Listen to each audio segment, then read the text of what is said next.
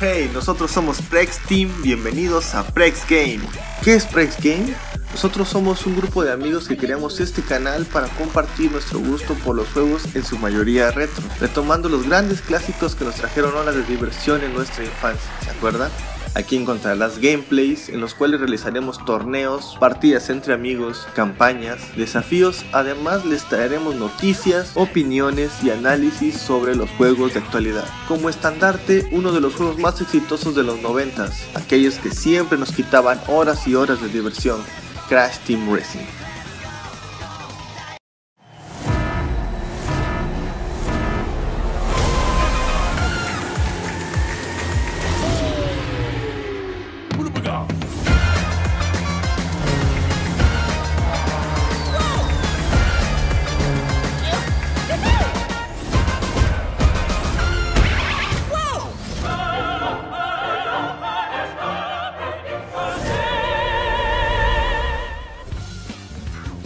¿Qué onda? ¿Cómo viste el trailer? Después de 20 años y dos generaciones de consolas de PlayStation, Activision nos trae una nueva versión de Crash Team Racing. ¿Qué te parecieron los gráficos en general el juego? Pues los gráficos van de acuerdo a la generación de consolas en la que nos encontramos. Como sabemos ya pasaron dos desde la última vez que tuvimos el Crash Team Racing. Creo que no, no hace falta entrar en más detalles. Las texturas de los cards, de los personajes son muy realistas. Luce por lo menos gráficamente muy impresionante. De verdad a mí me sorprendió demasiado aspectos como la lava, como la arena, como el agua, que ya adquieren una característica muchísimo más definida a lo que teníamos acostumbrados. El potencial que nos muestran en estos trailers es para dar mucho de qué hablar y nos da la expectativa de que las nuevas pistas puedan ser increíbles ya que la realidad con estas nuevas tecnologías pues, es increíble. Esto respecto a los aspectos que se han mantenido, pero hay otras cosas que se han mejorado, que se tenía un poco de deficiencia en las versiones anteriores y que se han agregado en las versiones anteriores. Los personajes se siguen manteniendo iguales aunque el aspecto ha mejorado. Las pistas se han mantenido, la esencia de las mismas todavía continúa y es algo de lo cual nosotros estamos muy emocionados que no se haya modificado. Ya vimos que tuvimos un pequeño problema con una versión anterior de Crash Nitro Kart que no fue muy bien aceptada por la comunidad. ¿Por qué crees que haya sido y por qué crees que ahora no vaya a ser así? Bueno, yo jugué Crash Nitro Kart, pero desafortunadamente la jugabilidad sí fue modificada y ya no era muy cómodo adaptarse a las nuevas mecánicas del juego. Además de que las pistas eran demasiado vistosas, yo creo que quisieron innovar, por así decirlo, en ya no seguir un trazo lineal en las pistas, sino que habían pistas antigravedad, habían curvas muy cerradas, habían elementos que te atacaban y todo esto aturdía al final de cuentas y personalmente no me dio una buena experiencia de juego. A pesar de que hubo buenos personajes que se agregaron, no, no fue lo suficiente como para conservar a la comunidad que ya habían ganado en la primera entrega. ¿Podemos decir entonces que en este caso menos es más?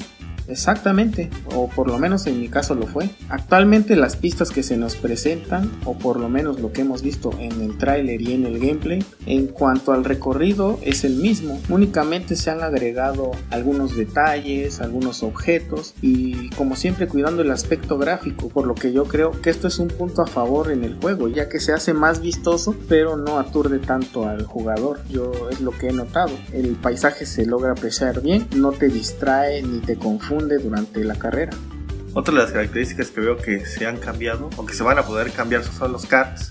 Me imagino que se van a poder adaptar diferentes cards a diferentes circunstancias en los juegos. En el trailer se puede apreciar que los cards van modificándose, o sea que vas a poder realizar una personalización de las características de tu card. Supongo que los niveles se van a mantener. Ya vemos que en el anterior había una diferencia de niveles entre cada personaje. Pero algo que me preocupa mucho es si se van a mantener los glitch, que estas pequeñas, esos pequeños errores que tenía el juego de repente y por lo que muchas veces terminabas perdiendo una pista que ibas en primer lugar. En cuanto a los cards, me parece una buena propuesta. En Crash Nitro Kart eh, abordaron ese aspecto, aunque como te digo, la experiencia del jugador no era muy buena, pues muy pocos conocieron estas mecánicas. En este juego creo que fue una idea muy buena, ya que como siempre la personalización del card es un plus siempre para un jugador. Los personajes yo igual espero que sean personalizables en cuanto a sus características, es decir, sus habilidades, ya que tú puedes tener un personaje favorito, sin embargo si es nivel principiante o si es nivel avanzado y no lo puedes ocupar, eso te mantiene limitado a que lo puedas utilizar. Entonces, si puedes aumentar en cuanto a la aceleración, la velocidad, el giro de los personajes, me parecería que fuera un buen punto también.